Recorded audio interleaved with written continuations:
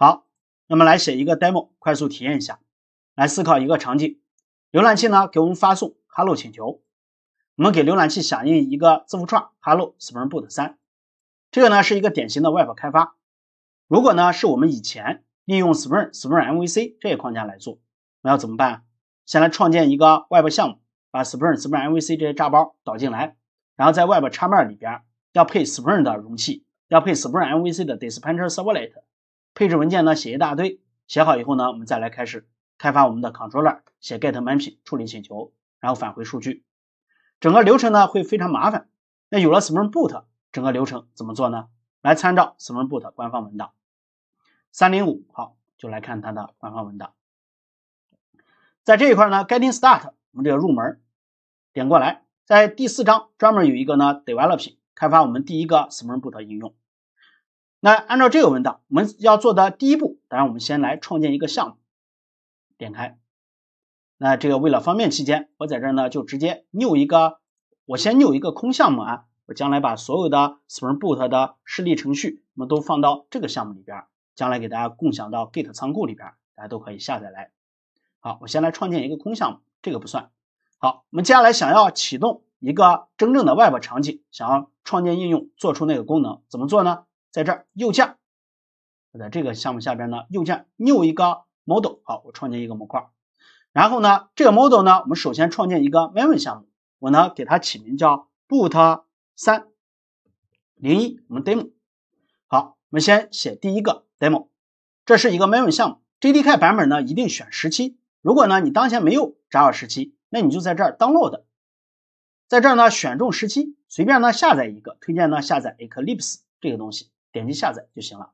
好，我在这儿呢，之前已经下好了。这是我们的 demo，选中我们用 Java 语言开发，没问好，Java JDK 是十七版本。来，我写上我们的坐标，com 点 ant 硅谷。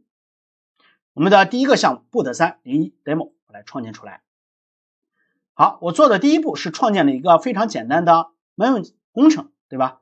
然后呢，我想要做刚才的功能，怎么做？参照官方文档。我们要做的第一个功能就是先创建一个 maven 项目，在 maven 项目里边呢，让这个 maven 项目继承一个副项目，所以我在这儿直接把它复制过来，这是一个 parent 坐标，这是 Spring Boot 副工程，我呢点击刷新，在这儿呢我只要写了，来在这儿点一个刷新，让它呢把这个坐标导进来，整个导入期间呢可能会有点慢，第一次呢可能要下载。好，我们现在呢把这个 parent 复制过来，这是我们做的第一步。我们所有的 Spring Boot 项目，所有 Spring Boot 项目都必须继承所有 Spring Boot 项目，Spring Boot 项目都必须继承自继承自哪个呢？我们的 Spring Boot 的副项目就是这个 Spring Boot Starter Parent。把这一步做好以后，接下来就简单了。因为我们现在呢要开发一个 Web 功能，所以接下来看文档的第二步。第二步呢，在我们类路径下添加一个依赖，这个依赖呢就叫 Spring Boot Starter Web。我直接复制过来，这是第二步。我们以前介绍 Spring Boot，我们就来说，当然这刷新一下啊。以后你想要开发什么功能，是不是引入人家 Starter 就行了？所以这是我们见到的第一个 Starter，叫 Web 开发场景，Web 开发。的场景启动器，所以我引入了一个 Start Web，这个呢，所有跟 Web 有关的功能就都进来了，可以大概看一下。你看 Web 开发的所有相关功能，我引了它，然后呢，它引了 JSON 的、Tomcat 的，因为我们整个 Spring Boot 还嵌入了 Tomcat，对吧？所以包括 Spring MVC 的这一套都有，所以把它一引以后，Web 的所有场景就进来了。接下来第三步。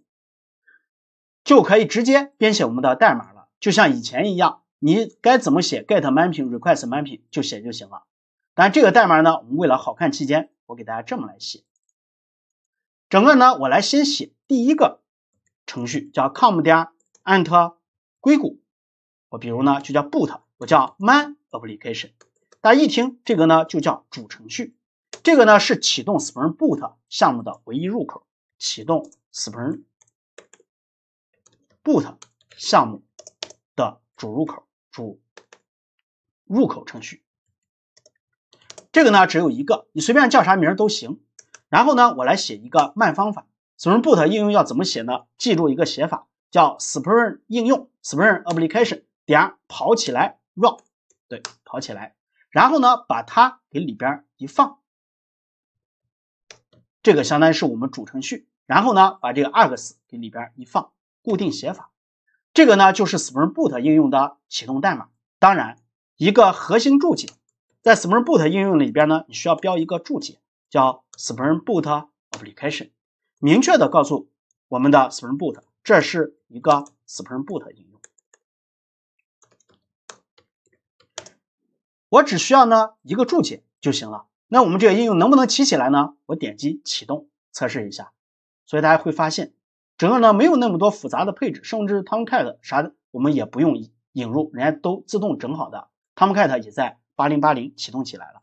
来访问一下 local host 八零八零回车。哎，我们发现呢这个应用默认访问呢是一个四零四的这个错误的白页。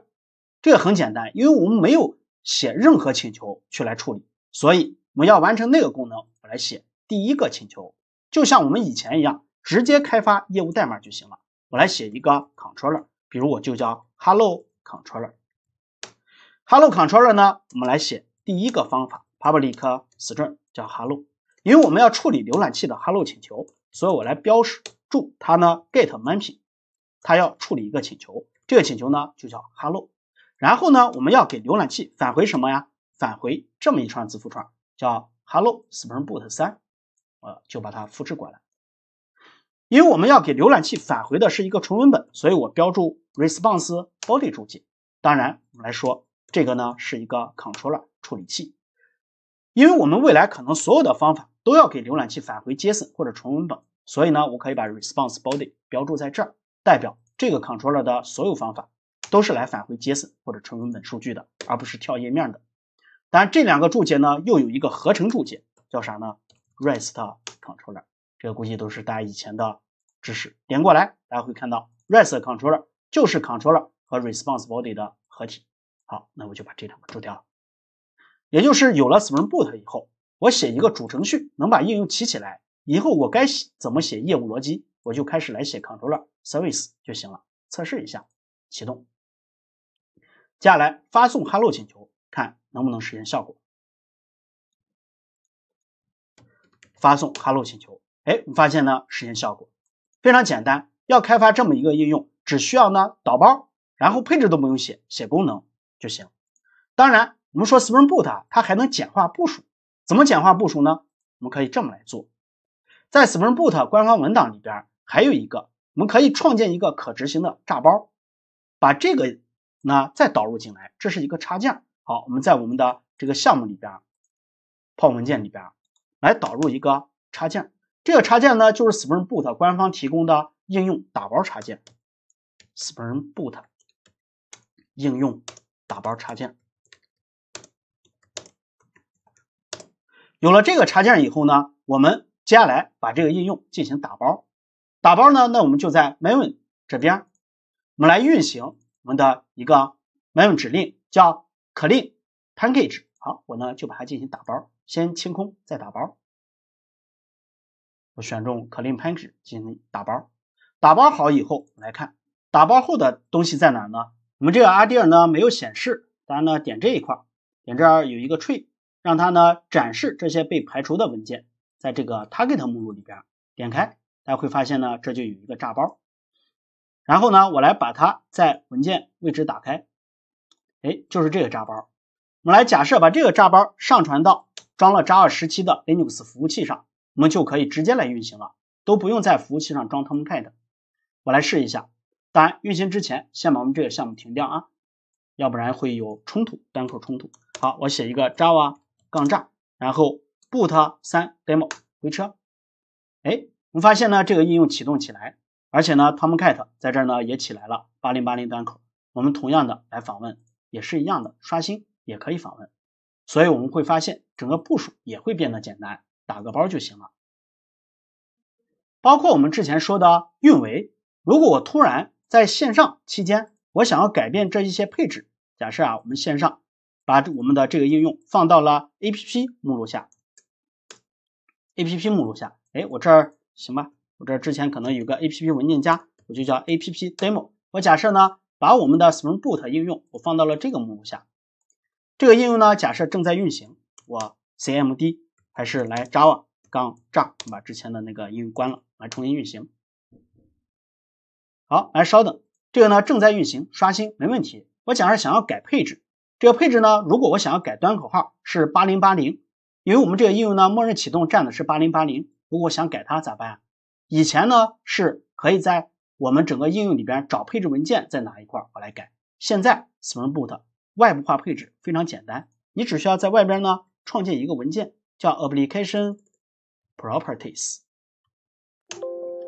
有了这个文件以后呢，Spring Boot 整个应用所有的可配置项你都可以在这儿改。比如我在这儿修改一个，我们提前说有一个呢这么一个配置叫 Server 点 Port，我们一听是不是就是端口号啊？